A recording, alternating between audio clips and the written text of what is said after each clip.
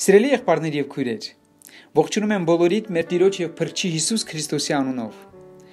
Ինչ հրաշալի է,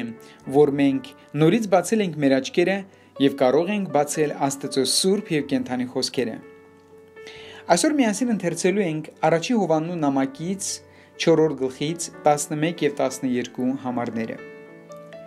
Սիրելիներ, եթե Աստված մեզ այսպես սիրեց, հապա մենք էլ պետք է միմյանց սիրենք։ Աստծուն ոչ ոք երբևիցե չի տեսել։ Եթե միմյանց սիրենք, Աստված մեր մեջ կմնա,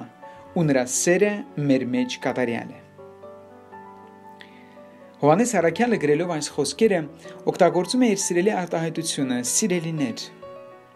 Եվ նաև կօգտագործի ворթիակներ, քանի որ արդեն խորը ծերության մեջ է լինում, երբ որ գրում է այս նամակը,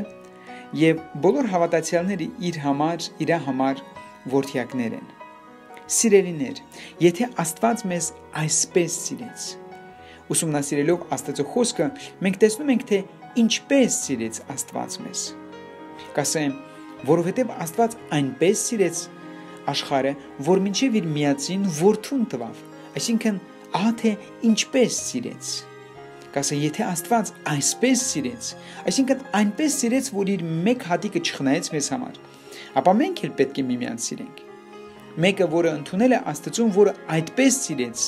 աշխարհը, որը այդպես սիրեց ինձ եւ քեզ, մեկը, որը հավատում է Աստծուն, որի բնությունը սեր է, անպայման լեցվում է սիրով եւ սկսում է սիրել իր եղբորը եւ իր քրոջը։ Աստված, որին մարդ հարարածը չի կարող տեսնել եւ ողջ մնալ, որի բնությունը սեր է եւ այդ սերը լեցվում է մեր մեջ վերստին ծնունդի ժամանակ, Այդ սերը առաջնորդում է մեզ սիրել իրար, ինչպես որ Աստված է սիրել մեզ։ Եվ դա մեծ վկայություն է, եթե դու լեցված ես Աստվածային սիրով, դա արդեն իսկ մեծ վկայություն է, որ դու ճանաչում ես Աստծուն